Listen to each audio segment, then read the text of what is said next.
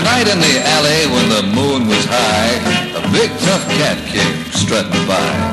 Claws on his paws were like a ten penny nail, and everybody knew you didn't step on the tail of Big Tom.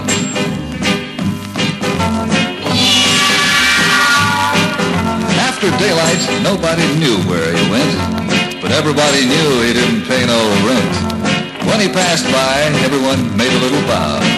You spoke at all, you just said meow to Big Tom.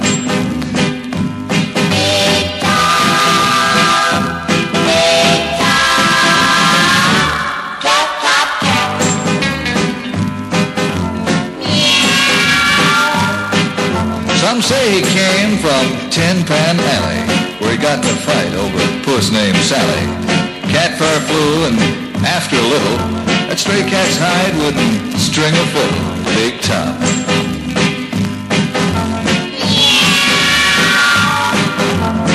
Then came the night on a one-way street when they heard the rumble of four big feet. A great big bulldog grinning wide left them all paralyzed side by side except Tom.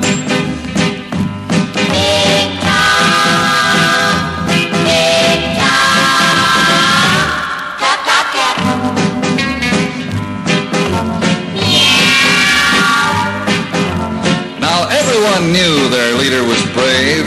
Not one doubted that he'd be saved. They knew that once Tom made his play, that bulldog wouldn't see the light of day. Big Tom.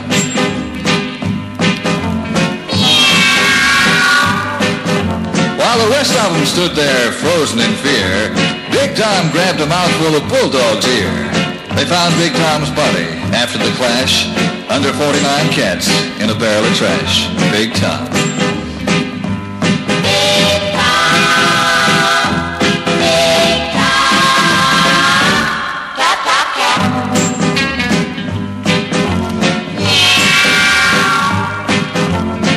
They through the beets and the coffee grounds, the watermelon rinds and the bozo clowns. When they reached the cabbage and the apple cores, they all knew they just couldn't do no more for Big Tom.